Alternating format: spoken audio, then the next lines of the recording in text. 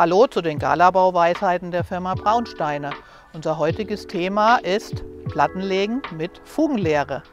Fugenlehren gibt es in 4, 5 und 6 mm Stärke von der Firma Braunsteine. Die sind 1 Meter lang, haben hier so eine kleine Kante, die entsprechend der Fugenbreite ausgebildet ist. Wie man sehen kann, ragt diese, diese kleine Nase ja nicht besonders tief nach unten. Das ist aber gewollt, weil wir auch Pflaster damit verlegen. Und wenn hier Abstandsnocken sind, dann würde, wenn das tiefer gehen würde, würde diese Kante über den Abstandsnocken liegen. Aber es soll nur hier oben als Randbegrenzer sichtbar sein. Und somit haben wir jetzt nach allen Seiten die Platte schon mal picobello verlegt. Die Fugenbreite von 4 mm wird bei unseren Betonplatten, die nur 4,5 cm dick sind, äh, benötigt.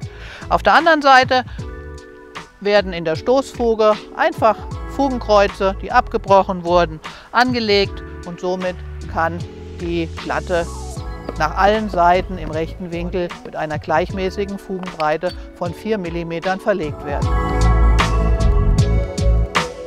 So, wenn man jetzt eine Reihe gelegt hat, dann kann man, Felix, kannst du schon mal anfangen, kann man hier die äh, Leeren einfach rausnehmen, kann sie nach vorne legen kann da sauber drüber laufen, kann die wieder ausrichten und es kann direkt weitergehen mit der nächsten Reihe.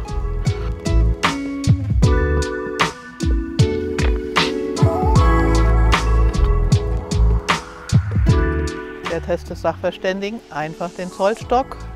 Das Holz hat 3 mm, mit der Spitze, mit der Metallspitze 4 mm. Und wenn das Ganze locker durchzuziehen ist, dann weiser Top-Fugenbild. So, jetzt kommen wir aber noch zum Wichtigsten, nämlich damit das Ganze, was wir jetzt so schön gelegt haben, nicht alles wieder verschlenkert durch drüberlaufen und Schubkern fahren. Wir müssen einkehren und einkehren soll immer mit dem Verlegen gleichzeitig erfolgen. Das heißt, wenn man mal zwei, drei, vier Reihen gelegt hat, dann wird erst eingekehrt. Und heute verwenden wir einen Fugensand, Fugensplit in einem entsprechend grauen Material für diesen Plattenbelag. Das schräge Kehren ist wichtig, weil wir in dem Moment das meiste Material in die Fugen hineinbekommen. Wer das mal ausprobiert, der wird es sehr schnell merken, dass er damit am effektivsten beim Kehren ist. Nach dem Sauberkehren, also es ist immer wichtig, das danach sauber zu kehren, sieht man, wenn man hier genau schaut, dass die ganzen Platten also schon einen entsprechenden gelblichen Farbton aufweisen, der aus dem Fugensand kommt. Und auch das ist in den Regelwerken sehr, sehr genau erklärt, dass man direkt nach dem Kehren waschen soll.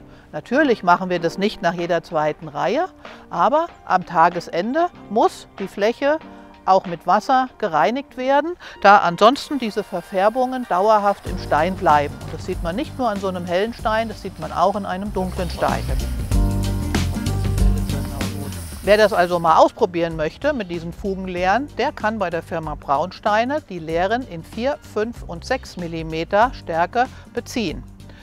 Ich empfehle es ganz dringend, ausprobieren einfach mal bei Platten, aber auch bei Pflasterbelegen, insbesondere in Rampen wo die äh, Steine von unten nach oben gelegt werden, ist es sehr schwierig, eine ausreichend breite Fuge herzustellen. Da ist es ein extrem gutes Hilfsmittel.